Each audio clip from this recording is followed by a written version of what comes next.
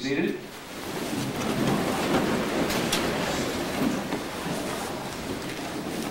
We will proceed with uh, today's special program momentarily. There are just a few announcements. First, about Soup Kitchen.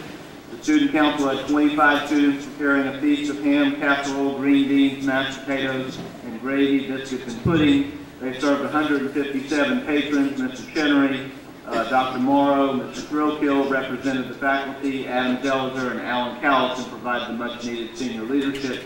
Many thanks to all who continue to participate, especially on a Saturday when there are a lot of other important events going on. I appreciate that. Remember the coat drive.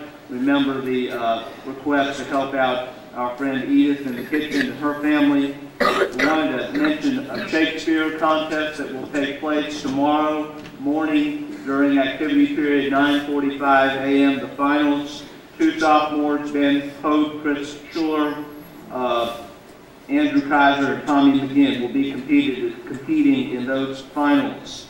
Uh, we are very proud of our wrestling team. I know they're disappointed after losing an extremely close match, but they came back to beat Father Ryan, uh, finishing third in the state. Uh, we'll have a full report next week. Let's give them a round of applause.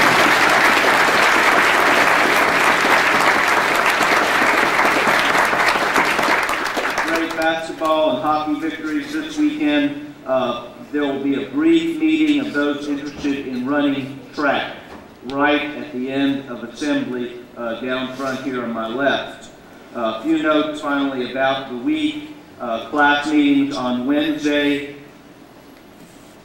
Varsity swimming region competitions at Sportsplex Thursday and Friday.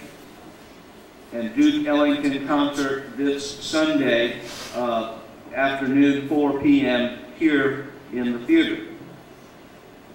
Code Moy applications are available in the main office today and must be returned by next Monday. If you applied for Code Moy last year and would like to be considered again, please update your application. I am reminding you now that this series, um, there'll be five this year, this is the second, uh, was instigated by Mr. Barfield, who's sitting up uh, there, and Mr. Yuchi, who's sitting down here on my left, uh, to find ways in which we would uh, enlarge our understanding of how individuals make choices about their lives and their careers. And so we've asked a number of people to come in for these uh, conversations, interviews, and invite you to ask some questions.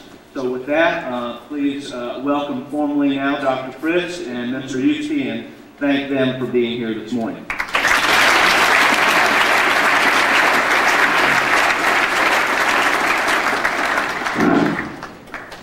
Uh, Brad, thank you so much. It's a pleasure to be here. And uh, Dr. Frist, we really appreciate your taking time from your schedule to join your alma, alma mater uh, here at MBA today.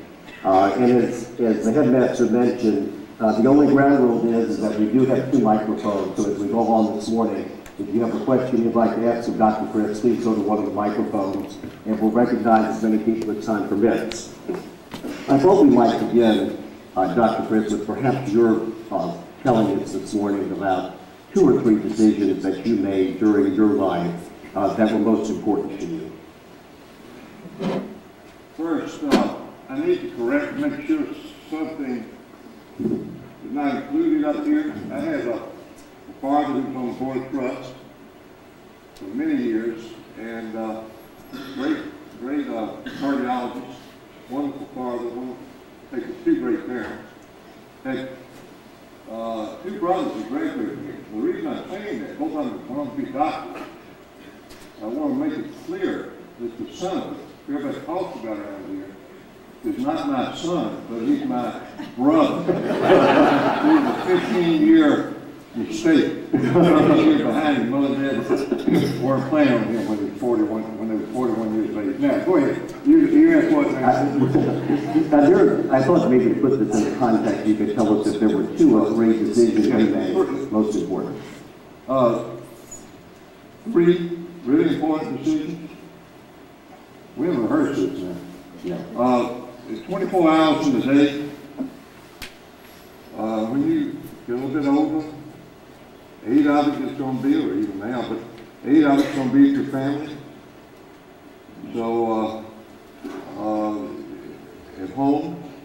So, uh, be sure you marry the right wife. You probably have the right child. That's eight hours a day. Another eight hours a day, uh, you're gonna, will be at work.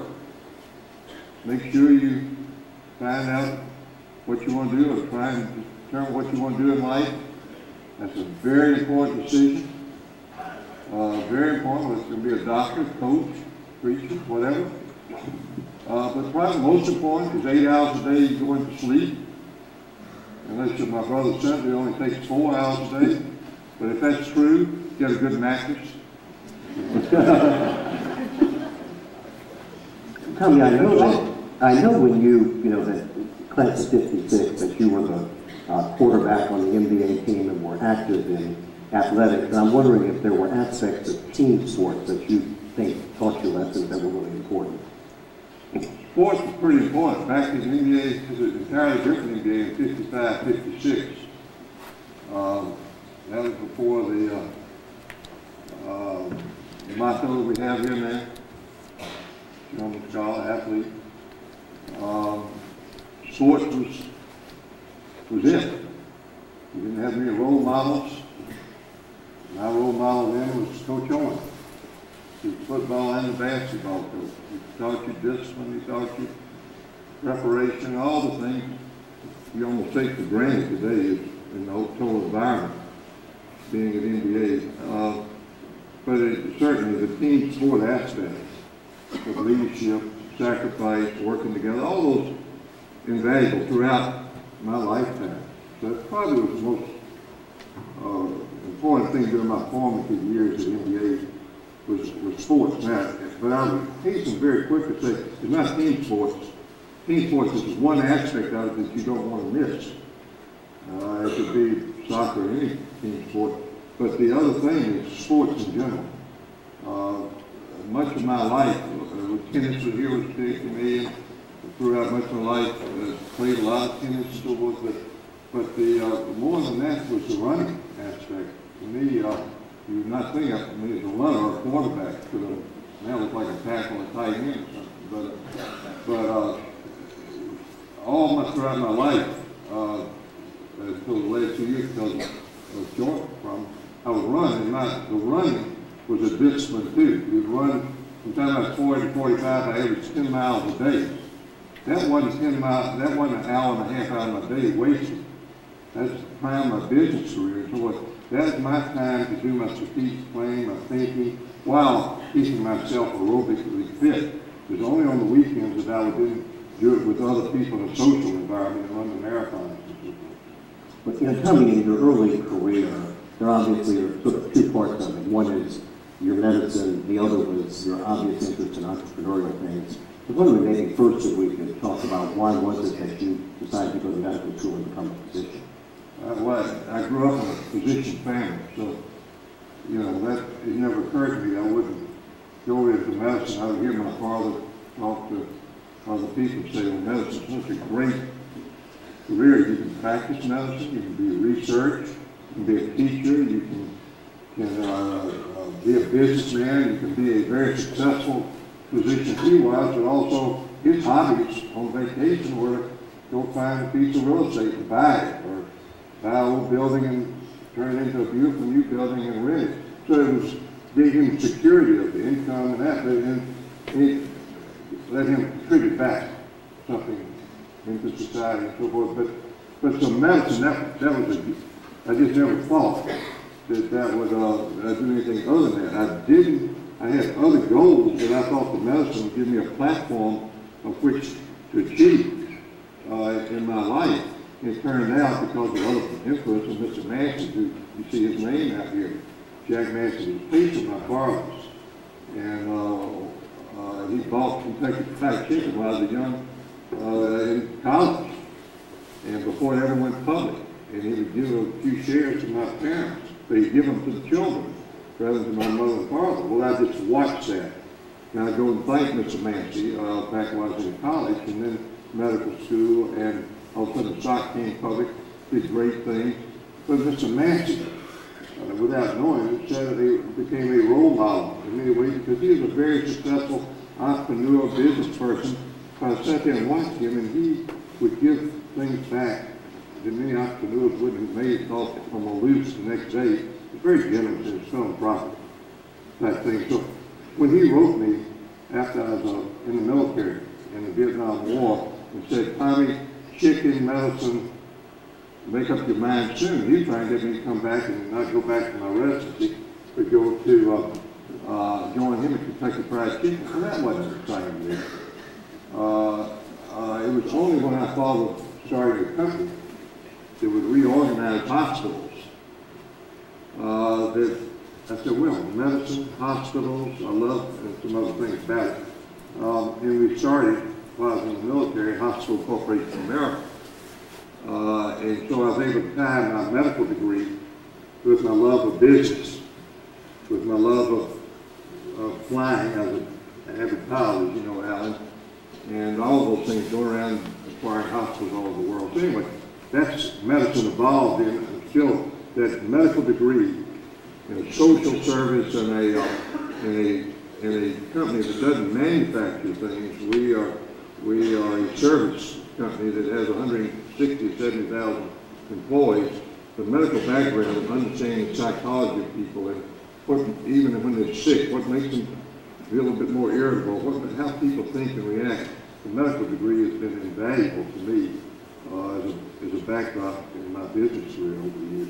Tommy, I want to obviously pick up on HCA in just a minute, but let me digress for a second because you mentioned flying, and I know from having flown with you, it's a major, major interest of yours. Could you maybe share with us a little about why that's been such an important and meaningful kind of application?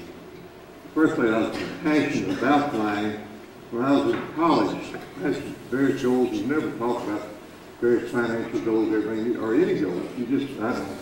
Um, I very set goals even today, setting goals over the weekend for the next few years.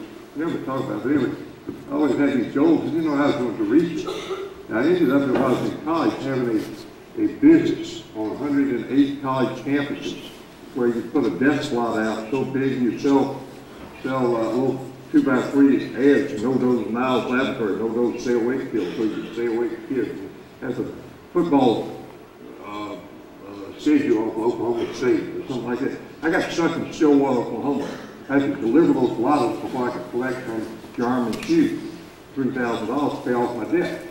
I had to go out to Stillwater, Oklahoma, or Rutgers, or wherever it was, and I got stuck. There was only one flight out of Stillwater, Oklahoma. And I ended up missing that flight, spend the night on the couch when I was 20 years of age in college. I came back to depend on the airline again. So without my parents, I was one, I got my college license in 60.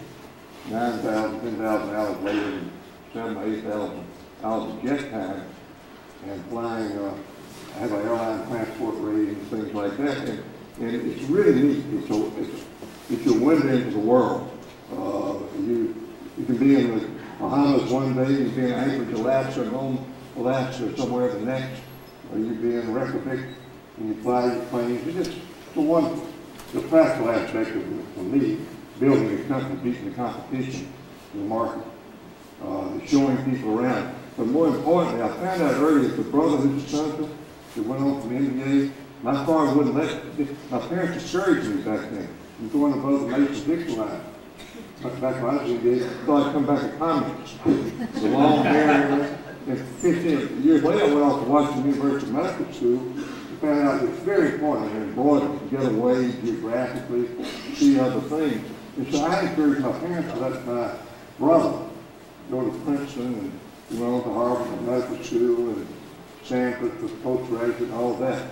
But he, I got him when he was 16 years of age, come down as a flight instructor at that time in the military and taught him how to fly. I saw him get in Princeton a lot because of that.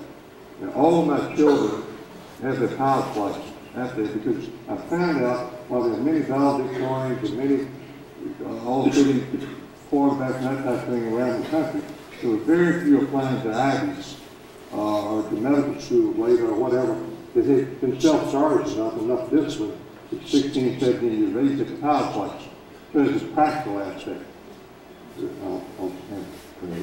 You know, let me remind you, we do have a mic, so if you would like to ask a question, please approach that, and we'll, uh, let you in on the discussion down here. Uh, what a lot of people don't know is that Dr. Frist is not only the founder of the largest healthcare provider in the country. Oh, no, terrible role model.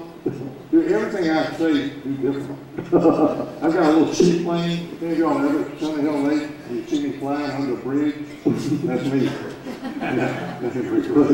And, you know, but Tommy, you also in effect invented an industry, because as many, as people may probably don't appreciate, hospital really up until nineteen sixty-eight were basically not-for-profit organizations, so the idea of having investor-owned hospitals was really a, an innovative idea, and I'm curious, what was it that gave you the idea that there was a market opportunity? The first place, when I was 14, 15 years of age, back then, we drove to Florida and stayed at friends, my parents' houses forth. I had a, uh, in Macon, Georgia, shop one time and heard a man didn't even know what he was saying. Uh, he, was sitting on the couch in a, in a library and he, was talking about how he wasn't going to get married to certain, certain things. I set certain goals in myself uh, back then as a 14 year old. Didn't know exactly um, uh, how I was going to achieve those.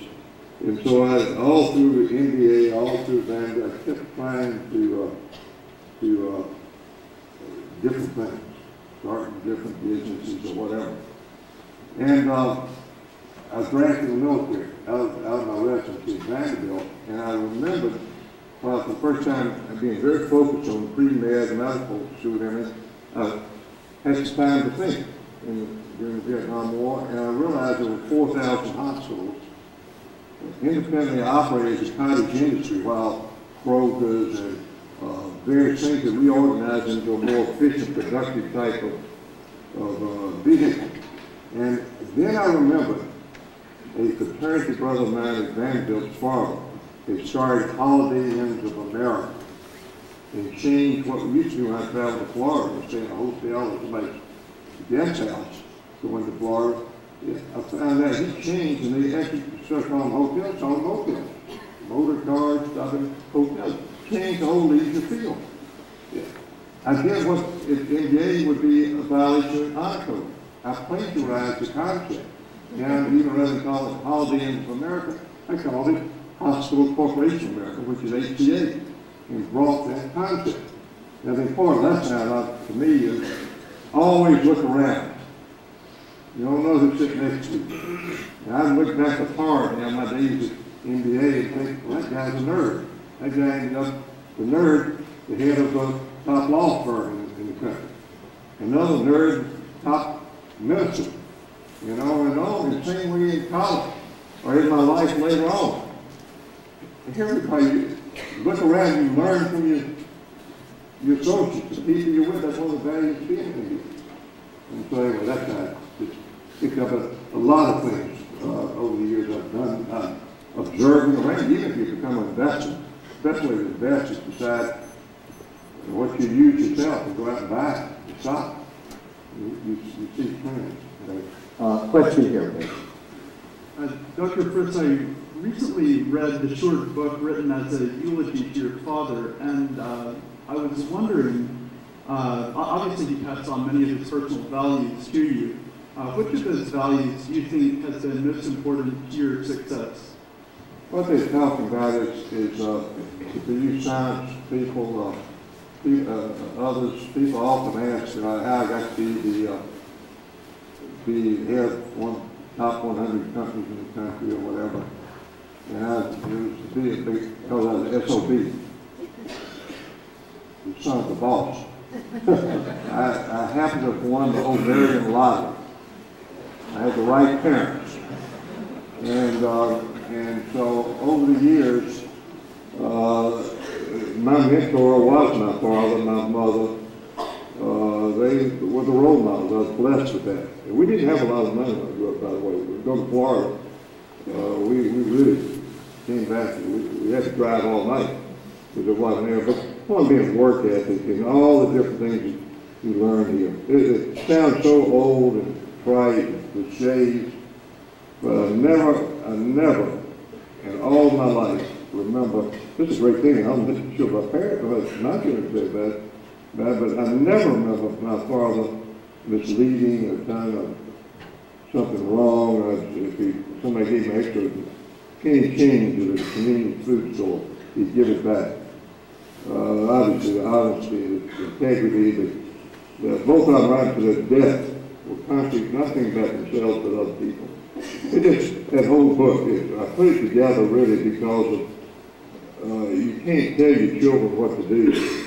Uh, they have to learn by example, take going on trips with the children, grandchildren, whatever, and I just wanted to put that down, that particular book, so the grandchildren and the generations to come will have those values.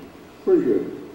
You know, since Andy had asked about this, uh, Tommy, I know that one of the things in that book is a letter from your dad to his grandchildren. Have you ever written similar letters to your children, and if so, what are some of the things you might talk about?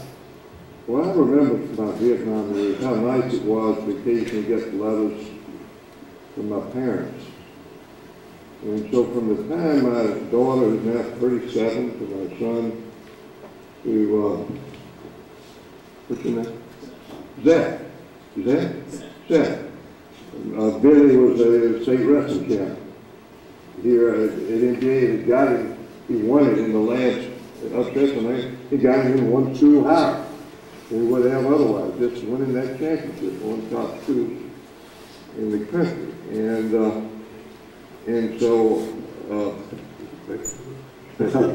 about, about whether you had written. Oh, oh, yeah. So what, so what I did then, every one of my children, children get old, uh, the, uh, every one of my children, when they went off, I never missed a day of writing a letter to them, a postcard, while they were off in college. I didn't want them, I remember Billy, my youngest brother, talking about his first year at Princeton, and how lonely he was, a southern boy at Princeton, hear the bell, the bells toll at night and was it the right thing to be up there at Princeton? So I never, at least, I wanted to have a postcard or something, and I didn't know it, and all my children, but now I got almost a diary of just boxes full of those postcards from their four years in, in college. That's kind of a mechanism that I had. Now, you can reverse that, by the way, and write your parents. and, and, uh, and, and uh, also, Yes. I think you'd have to point that mic down just a little. That's Has your greatest achievement been in your career or with your family? I'm not sure I heard, I know about great achievement, so I'll just take off the, off the. And what's your career or family? Oh, the great achievement has to be, uh, the family. Uh, yeah, well, I, I was being a little facetious, but not, uh, when I'm talking about most important decision is who you, your spouse, who you pick. I mean, most important, then, you know, job and all that, but, but, uh, uh, fortunately, I picked the right wife and the family and, and, uh, never went on vacation, I can't remember without the children and that type of thing.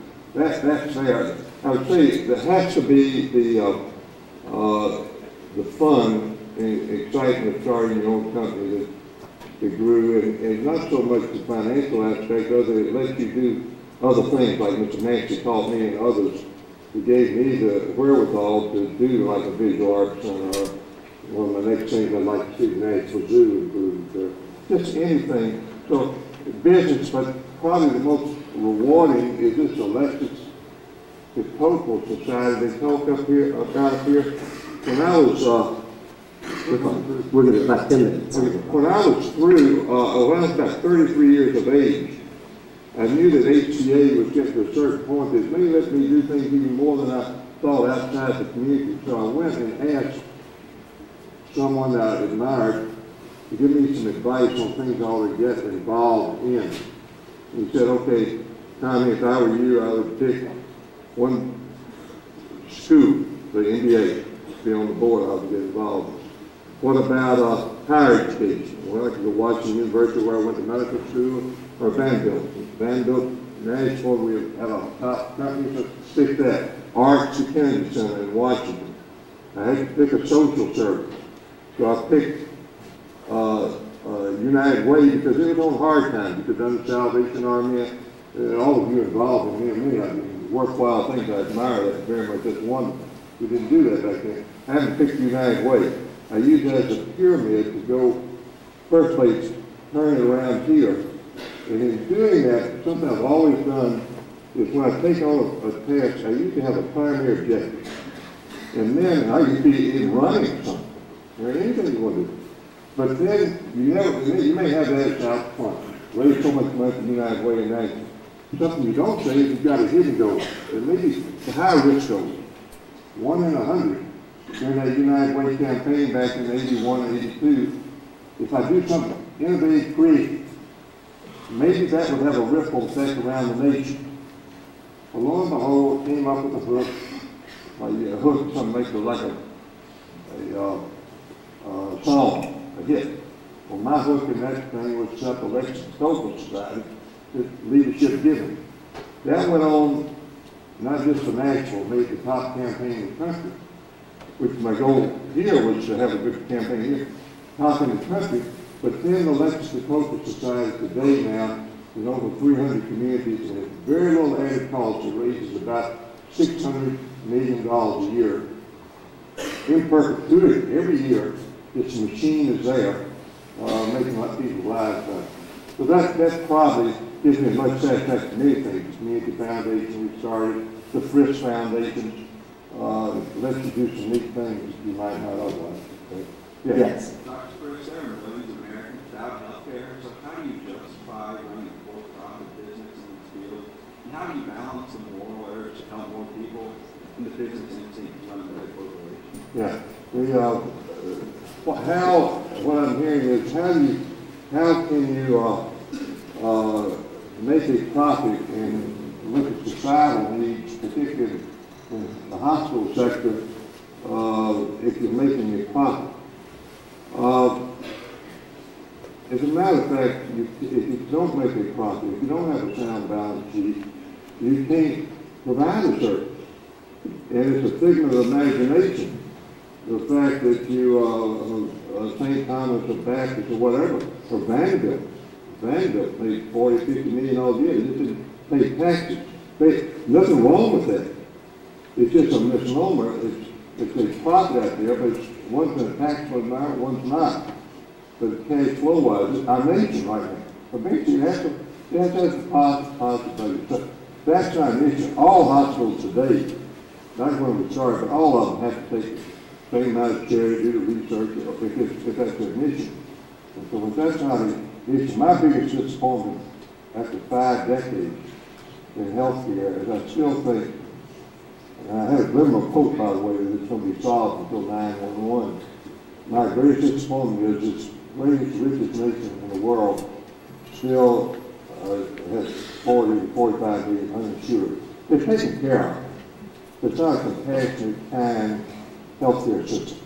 That's unconscionable. And the thing to me is the politicians still saying, oh, some of them, we want to take care of or take care in this state. If you read about that issue, they're really not really doing what I think. They're not going far enough. Because you have a lot, a lot of expatriates, you have Mexicans, Hispanics, Kurds, a lot of different people throughout this great nation of ours, and they're human beings too. And all the problems even they're talking about and solving is not like they have in the United Kingdom or other places, where if you're really sick, you come in and you're taken care of. Yeah, Tommy, I, I suspect that as people here in the audience go to college, graduate school, graduate, some number will end up in large organizations. And of course, HCA at one point was the seventh largest employer in the United States, still one of the largest employers. In terms of people who have been managers under your leadership, can you share with the students what qualities you have seen that have caused people to be the most effective executives on your leadership team? First place, you don't have to have Harvard, Princeton, Yale. The best people we have at HCA are coming out of Middle Tennessee, Tennessee Tech, David Lipscomb, a place like that, to come into the county, and 99 out of 100 are going to be happy if they're in control of the hospital. The one out of 100 to break through the ceiling will be president of the organization. So while I say always go the best, if you can go to Harvard, go there. If Vanderbilt's best, go there. Always anything in life, go for the best. It's not necessarily that. The grassroots values that you have from Middle Tennessee work ethic, honesty, integrity, all those type of things that are important. But, uh, I mean, the Legion of books on it, is absolutely the fact. And, and to me, uh, uh, when I came back, for instance, in August of ninety-seven, HCA was almost after being gone for three and a half years, almost like the Enron story that maybe you may read about now. Uh, and we saved it and he got it back, the right values and uh, right mission and values out there for 160,000 employees. When people ask me today what was the one most important thing we did, it wasn't rid of 14, it's not 16 offices when I came back, or redoing the bank lines, or whatever. It was sitting down for a week and a half, two weeks, and drafting a new mission and value statement. Doesn't do any good to put it up on the wall and just talk about it. If you don't live it, breathe it, eat it, sleep it, whatever. That's the one most important thing that we did. It saved a twenty billion dollar company. And, uh, it, it was very important. Was in Austin, Texas, down wherever. It's changed people's lives. That company was almost lost because it almost lost its way. It didn't have that common, that common thread that glue throughout it. It says we care about the dignity of the individual, integrity, all those things. Uh, Thank you. Let me, let me ask you one wrap-up question, because we're about at the end of our time, which is you have accomplished so much in, uh, in your lifetime. Are there two or three things that you regard as your primary accomplishments and that you'd like the folks to remember for? You get as old as I am. That was a question he had. I, no, I, I would say, it it never ends. I was sports, thing I like about flying, you keep going, you keep learning, whatever. Today, at sixty-three years of age, that's the age when Mr. Massey started HCA with myself and Dad. And you constantly, I don't know, when I heard Giuliani asked that, asked a question not long ago, it took me for I was brilliant in his answer. So, um, what are you going to do next? And he's very honest. He's been so busy in trying to address 911, so forth, and going to tragic funerals and all the different things there uh, involved with it. He really hasn't had time to think about it. So he knows there's something else out there for him. And I hope whatever, the little that maybe has happened, I hope it's just the beginning. That's great. Would you please uh, join me in thanking Dr. Chris Seville?